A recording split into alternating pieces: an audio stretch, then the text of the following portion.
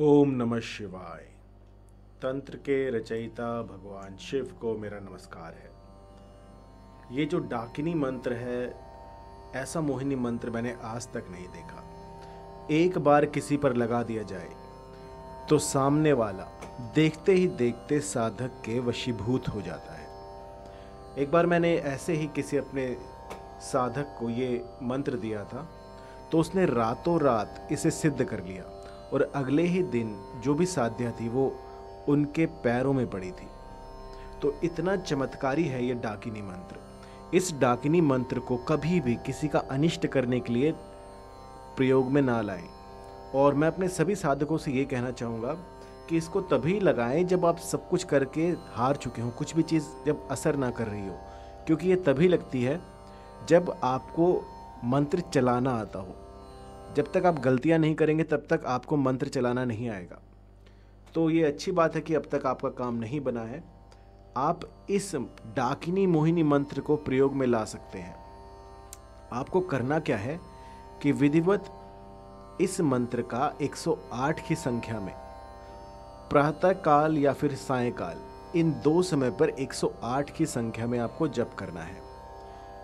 ये जप आप निरंतर करते रहिए 21 दिनों तक। 21 दिनों तक या फिर 41 दिनों तक।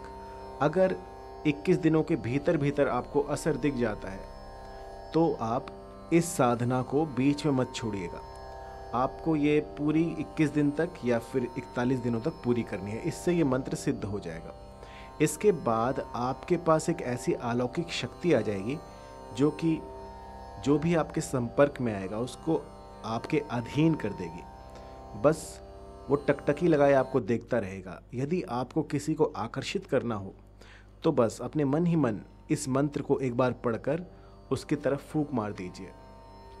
ऐसा करने से सामने वाला देखते ही देखते आपसे वशीभूत हो जाएगा। जैसा आप कहोगे वैसा करेगा। इस मंत्र को भली भांति सुन लीजिए, क्योंकि मंत्र थोड़ा लंबा है। जंगल की जोगनी पाताल के नाग उठ गए मेरे वीर।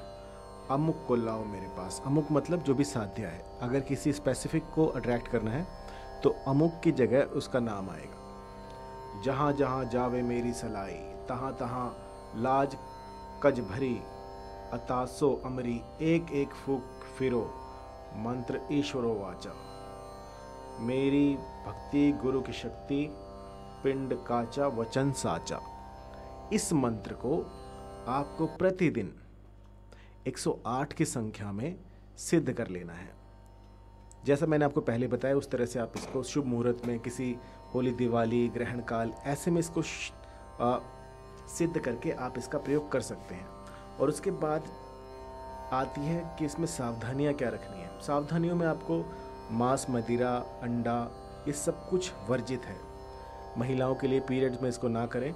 और इसके बाद पूर्ण श्रद्धा के साथ इस प्रयोग को कीजिए और फिर देखिए किस तरह से आपके मनोवांछित काज सफल होते हैं। इस मंत्र के बारे में किसी भी तरह की जानकारी के लिए आप कॉल कर सकते हैं triple nine two eight four सोलह पच्चीस पर। धन्यवाद।